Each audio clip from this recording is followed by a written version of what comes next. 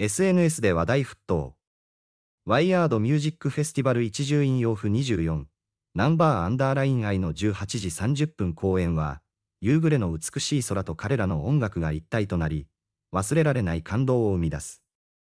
10月13日、愛知スカイエキスポ野外特設会場で開催されるワイヤードミュージックフェスティバル一重引用符24が迫っており、特に注目を集めているのがナンバーアンダーライン愛の18時30分の公演です。このフェスティバルはヒップホップを中心に構成され、エネルギッシュな音楽とパフォーマンスが期待されています。特にナンバーアンダーライン愛のステージは、彼らの音楽が夕暮れ時の美しい空と一体化し、特別な雰囲気を醸し出すことでしょう。SNS では、すでに多くのファンが興奮を抑えきれずに、その期待を共有しています。フェスティバル初参加の声も多く、九州から駆けつけるファンの投稿や、他のアーティストのパフォーマンスも楽しみという声が溢れています。18時30分という時間帯は、日が沈み涼しくなり始めた頃で、野外ステージが夜の雰囲気と相まって非常に魅力的なものになります。ナンバーアンダーライン愛の音楽は夜の空気に溶け込み、感動的な瞬間を演出することでしょう。夜のフェスティバルは昼間とは全く異なる体験を提供し、幻想的でドラマチックな雰囲気が漂います。このような環境でのナンバーアンダーライン愛のパフォーマンスは、さらに観客の心を揺さぶること間違いありません。観客たちは早くから会場に到着し、他のアーティストのステージも楽しむ予定です。フェスティバルは朝から晩まで様々なアーティストが出演し、観客は多様な音楽体験を楽しむことができます。日中の暑さから夜の涼しさへと移り変わる中でのパフォーマンスは、観客にとっても特別な体験となり、その変化の中で感じる音楽の力が一層強く心に響くことでしょう。しかし、夜の野外フェスには特有の注意点もあります。海沿いの会場ということもあり、気温や風に対しての準備が必要です。特に18時30分頃の気温は22度前後が予想されており、薄手の上着が推奨されています。快適な服装で音楽を楽しむための準備は欠かせません。SNS ではすでに現地の気温や風に関する情報が盛んに共有されており、初心者にも優しいアドバイスが多く見受けられます。また、このフェスティバルは音楽を楽しむだけでなく、ファン同士の交流の場でもあります。特にナンバーアンダーライン愛のファン同士がつながりを深め、新たな友人を作ることが期待されています。SNS でも、他のファンに会えるのが楽しみといったコメントが多く見られ、フェスティバルを通じて広がる人間関係に期待する声が上がっています。一方で、参加できないファンも少なくありませんが、彼らも T シャツやグッズを購入してイベントを応援する姿勢を見せています。フェスティバルは、現地に来られない人々もオンラインや SNS を通じて一体感を共有できる場でもあります。ライブ映像やグッズを通じて、遠く離れていてもフェスティバルの雰囲気を楽しむことができるのです。今回のワイヤードミュージックフェスティバル一重引用符24には、ナンバーアンダーライン I 以外にも多くのアーティストが参加し、多彩な音楽体験を提供しますが、ナンバーアンダーライン I のステージには特に大きな期待が寄せられています。彼らの音楽は単なるエンターテインメントを超え、多くの人々にインスピレーションを与えています。ファンにとって、彼らのライブパフォーマンスは心に深く刻まれる感動的な瞬間となるでしょう。さらに、ナンバーアンダーライン愛がスペシャルゲストとして出演することもあり、そのステージはフェスティバル全体を大いに盛り上げることが予想されます。彼らの音楽と夜の雰囲気が一体化する瞬間を楽しみにしているファンも多く、そのステージは観客を魅了することでしょう。フェスティバルに参加できない人々も、SNS を通じてその瞬間を追いかけ、リアルタイムで感動を共有することができます。チケットの取引やキャンセルに関する情報もフェスティバルが近づくにつれ増加しており、SNS ではチケットの譲渡に関する投稿も見受けられます。フェスティバルに参加したいというファンの熱意は強く、急遽参加できなくなった場合でも代わりの手段を模索する姿が多く見られます。音楽フェスティバルは特別な意味を持つイベントであり、多くのファンにとってその参加が重要であることが伝わってきます。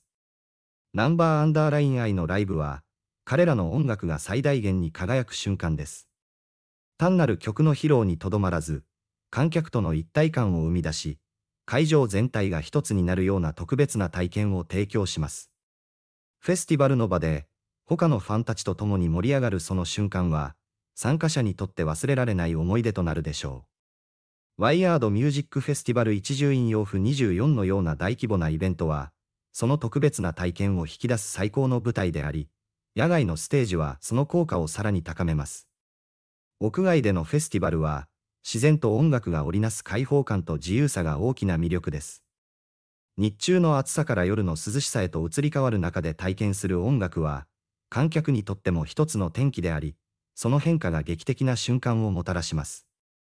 ナンバーアンダーライン愛のステージがこの天気に行われることで、昼と夜の両方の魅力を楽しむことができるのです。野外で聴く音楽は、星空や風の音とともに、まるで自然そのものが一部となったかのような体験を提供します。さらに、このフェスティバルは愛知という地域の特性を最大限に活かしたイベントです。愛知スカイエキスポの海沿いのロケーションは、都市部からのアクセスが良く、地元のファンだけでなく全国から集まる観客に非日常的な体験を提供します。特に愛知出身のナンバーアンダーライン愛にとって、地元でのフェスティバル出演は特別な意味を持つでしょう。彼らの地元愛がパフォーマンスにも現れ、さらに感動的なステージを生み出すことが期待されています。しかし、長時間にわたるイベントは、参加者にとって体力的な挑戦でもあります。特に夜間の冷え込みや昼間の暑さに備えて、しっかりとした準備が求められます。多くのファンは、手に羽織物を用意し、快適な服装でフェスティバルを楽しむ準備を整えていますが、SNS ではナンバーアンダーライン愛の出演時間に合わせた天候に関するアドバイスが引き続き共有されています。ワイヤードミュージックフェスティバル一重院洋府24でのナンバーアンダーライン愛の公演に対する期待は、彼らの音楽と観客が一体となる感動的な瞬間を生み出すだろうという点で非常に高まっています。